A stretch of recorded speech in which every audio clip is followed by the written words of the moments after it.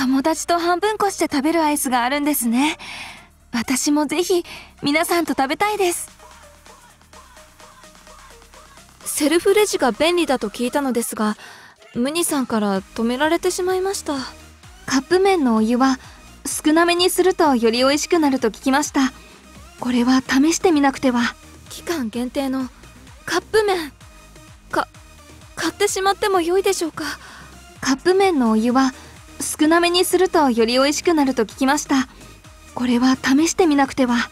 期間限定のカップ麺。か買ってしまっても良いでしょうか？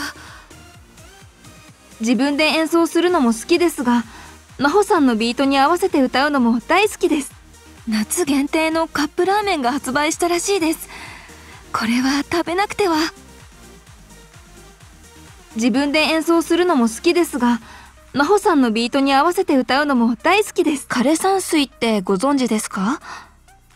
石や砂を用いていろいろな風景を表現するんです。期間限定のピアノは幼い頃からずっとやっているんです。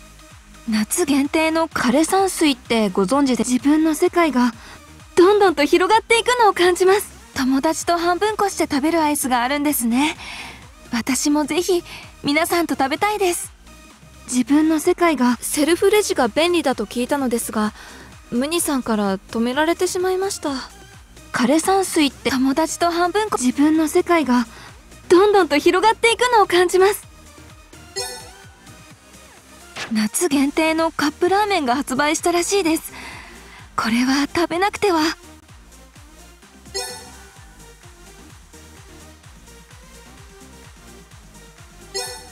リンクさんって太陽みたいな方ですよね。枯山水ってご存知ですか？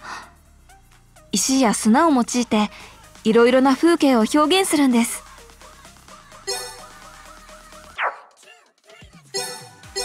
リンクさんって太陽みたいな方ですよね。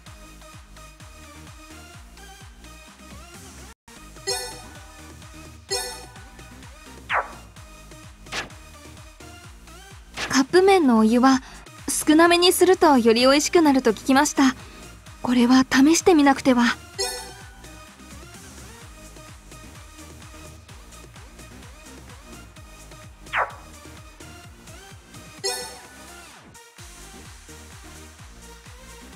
夏限定のカップラーメンが発売したらしいです。これは食べなくては。